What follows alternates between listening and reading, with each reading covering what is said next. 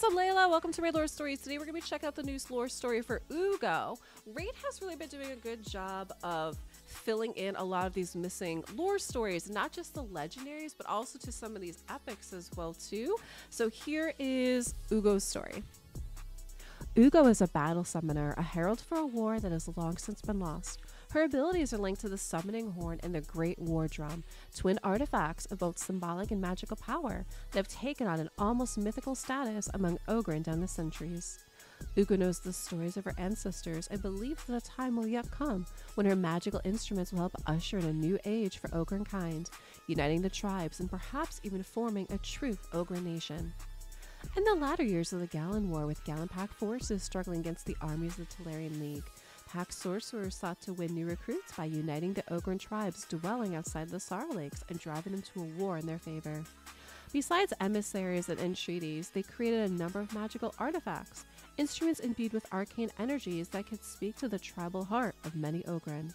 These instruments accompanied the Pact's messengers, and whenever they were played, they echoed in dreams and called to the Ogryn who heard them, stoking out both their desire for vengeance for the Red Crusade and feelings of unity and kinship with others of their kind. One strong Ogryn woman with a rare set of powerful lungs and an instinctive sense of rhythm named Glog was chosen to be the bearer of two of these magical tools, the Summoning Horn and the Great War Drum.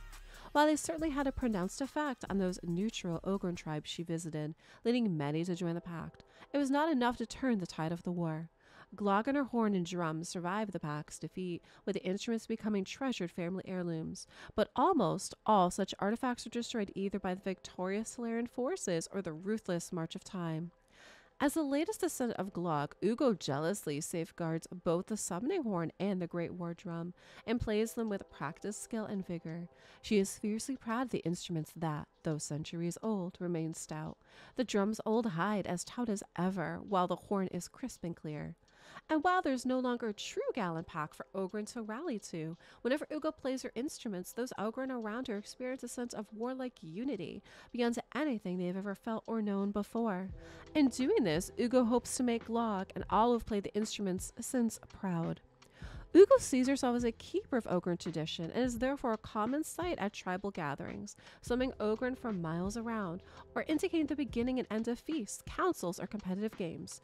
She hopes to use her instruments to remind her people of their proud heritage and to bring unity to tribes that are too often split and divided.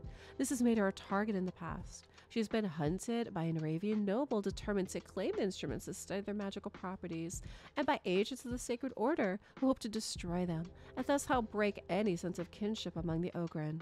Despite this, she has met and defeated every challenger. Her ongoing efforts to bring together her people, backed up by her size, strength, and the damage she can wreak in combat when the Great War Drum is slung on her back and she uses her heavy beating sticks as maces. Okay, guys, what do you think about that? So it talks about how the these tools, these instruments, the horn and the drum, are used basically to rally tribes together because we know that she's a reviver in the game, right? Like that's that's basically what she's using this for in the game. So it's very interesting how they I feel like it's interesting how they how they did this, right? Is they made these kind of these family heirlooms that kind of got passed down tradition to tradition. But I'd love to know what you guys think of the lore story for Uugo, and thanks so much for watching.